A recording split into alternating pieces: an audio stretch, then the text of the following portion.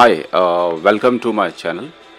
So in this video I'll show I'm going to demonstrate how to create your own operating system on your own embedded Linux uh, using Yocto as well as a UI which has been created in Qt.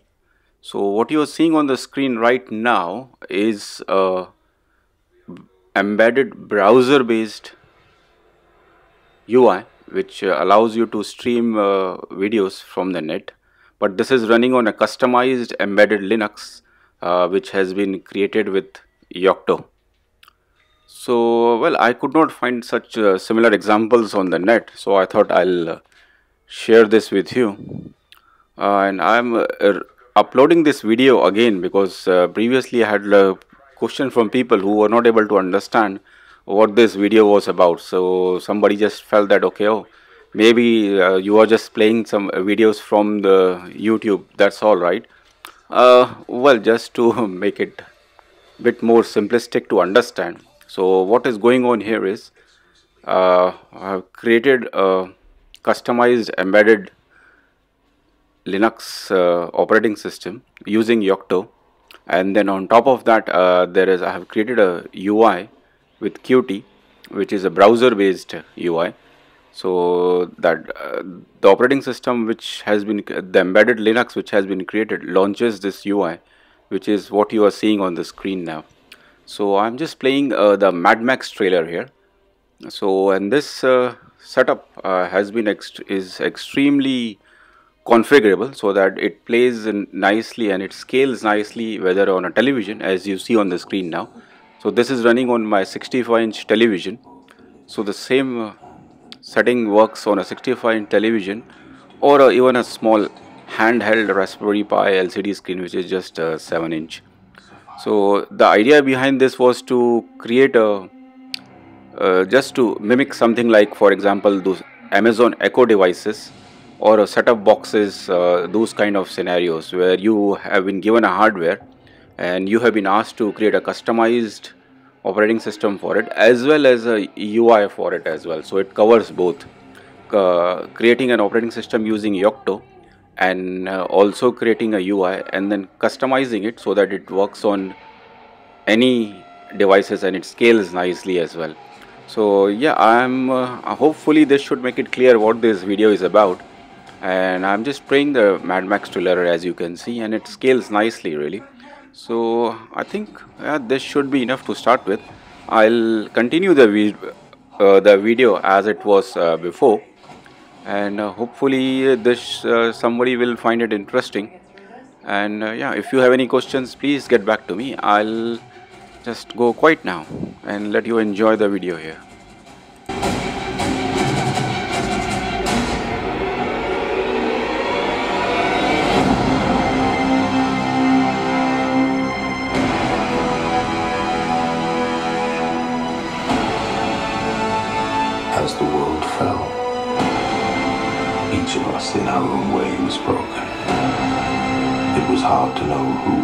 crazy. Me or everyone else.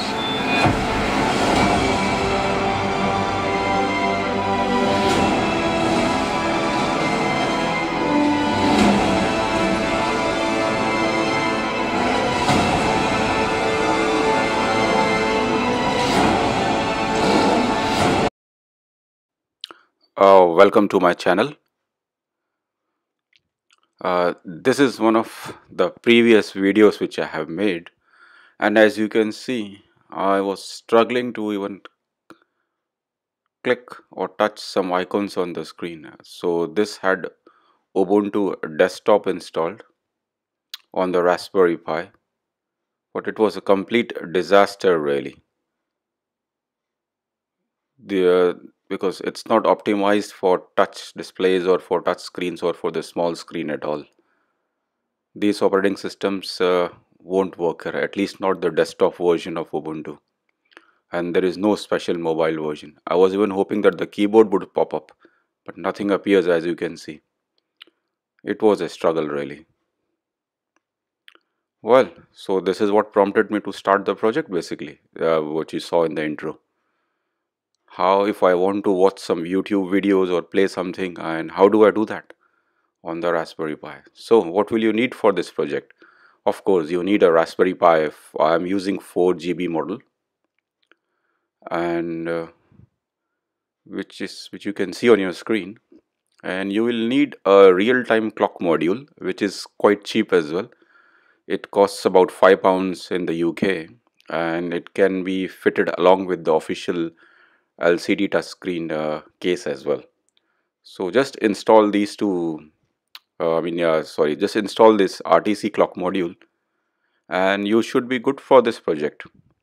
And if you plan to use uh, this for using on your television as I had demonstrated in the beginning of the video then it is also a good idea to invest in a remote control which you can connect with your Raspberry Pi. This is a wireless remote control a USB one so you can control everything on the screen with this. It's a good investment if you are using other uh, players as well. So I'm using this in the videos here. So if you want to use uh, these features on a television, this Linux image, then uh, it's better to use this one as well. So let's get started and see what are the efforts required for this project basically. So you will need to have a real-time clock and enable the sound uh, in Yocto through the conf file, through the local.conf file which you can read. All the details are on my blog which I have published on the description. So you can read the blog in detail. And what we will be doing is we will be building the Qt web engine with all the codecs so that we can play almost all the media from the different websites. And we will enable virtual keyboard so that we can use it for search features or other things in our applications. And if we are going to design the UI for a small screen like a LCD touch screen we can as well as make sure that it works on a 4K television if required. So yeah and the entire process uh, took me about around 20 hours to build. Uh, so basically Yocto will take about 20 hours to give you the image uh, with these features. So yeah prepare yourself uh, and uh, make sure that you read something about Qt web engine as well in case if you are not sure how to use it. If you want to build it yourself or you can download the entire image from the link which I have given in the description. So you don't need to build it yourself and regarding the UI which you just saw in the beginning or in case you have noticed it you can download the source code from this uh, link which I have you can see on your screen it's just a normal QML based UI application uh, which just opens different pages uh, with links inside them. The only special feature which I think worth mentioning is that how the scaling is done. So I designed this application for 800 by 480 which is the official LCD touch screen but then uh, using uh, some special formulas or the ratio formulas we can scale it so that it works even on a 4K screen. So later on I'll be uh, demonstrating uh, this UI on the 65 inch television to see how the UIs uh, scale up basically. So you can have a look at this source code and maybe uh, change it if you want to change or basically build it yourself. So yeah the link is available in the description and also on my blog site basically. So have a read through the blog because that will help you if you want to do this on your own. You can uh, go through the steps there. So i'll be updating the blog uh, regularly just in case if i miss something i'll put it there so and yeah this is my website everythingembedded.blogspot.com you can read the detail of the entire project here. Uh, so this will include all the conf files Yocto configuration files as well as the actual Linux image itself which I have uh, branded as coffee place. Well um, that was the name which I could come up with. Uh, sounds very relaxing and something uh, which should be just easy enough to take really. So go through this blog. It may be of use to you if it is of any help to you. So after you have done the builds and everything so I'll demonstrate how the actual uh, how coffee place looks like. So this is me installing it on raspberry pi lcd touch screen. So i'll just start it up now. So you should be familiar with by this now. I mean uh, this is standard through which we go through so i have designed my own custom logo which i picked up from uh, freepik.com so this coffee place logo came from freepik.com and i just used it inside my project. And when the pi when this boots up it should launch the initial the UI which I which we just saw in the previous screens basically. So this is the same UI now. We can see it in action basically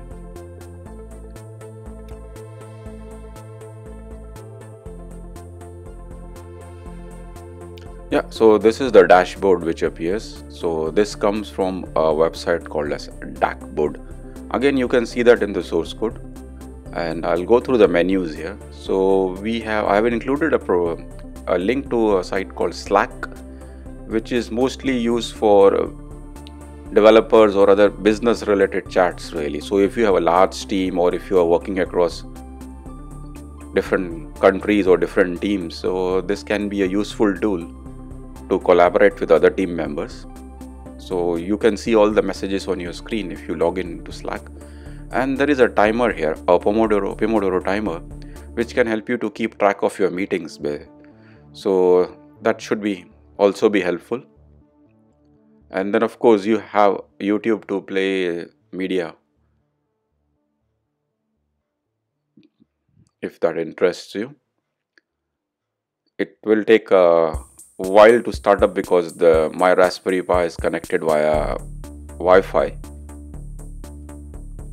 So it does takes little bit of time to come up. So yeah, you can see YouTube appears as well. And we have movie trailers which takes you to IMDb trailers website. And I'll go back.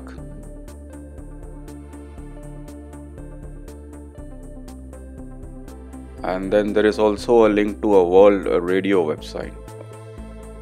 I'm still to test to make uh, to test this website but i may change the urls really.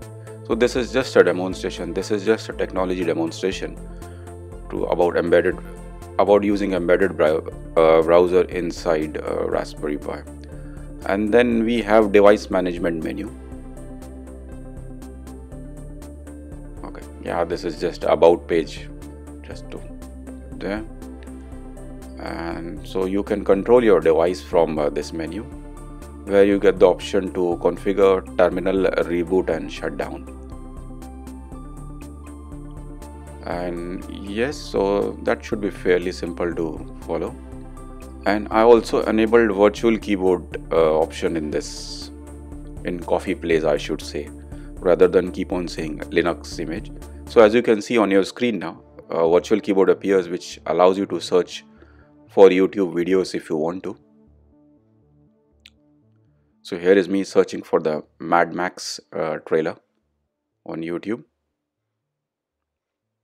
And this is IMDb site and this is on my television now. This is on a 65 inch television. Again you can see the virtual keyboard in action which feels great really so we don't have to connect any other devices to it. We can just uh, use the on-screen keyboard. And finally I will show you the boot up process uh, when the Pi is connected to the television itself. So this is my Pi which is connected to the television and the logo appears as you can see. And to just to show how the UI scale basically how the menus are scaling how the icons and everything how they scale up the title text the icon on the top left the raspberry pi icon and the text itself. Uh, this was what i was talking about. The, the text and the ui should uh, scale properly be it a small screen or be it a very large screen. So everything just uh, looks perfect really. And let me click on the menu here just to see if uh, it's proper. Yeah so yes you see the text has scaled up perfectly here which you can look in the source code to again to see how we calculate the formulas for increasing or decreasing the text size. So again if you have a television or if you have uh, some spare raspberry pis lying around you can connect them to your tv and have these features uh, on your screen. So it can be useful if you are interested. Other thing is yeah uh, please do read the blog if uh, for more details. Uh, that should tell you if there are any problems in the image or what is going on or if you need uh, many more features or if you feel any comments yeah please do give me your comments. What do you feel about i mean uh, if you want any more new features in this? I'll shut down the option anyway thank you for watching and i hope you will read my blog and like this video. Thank you very much and i will leave now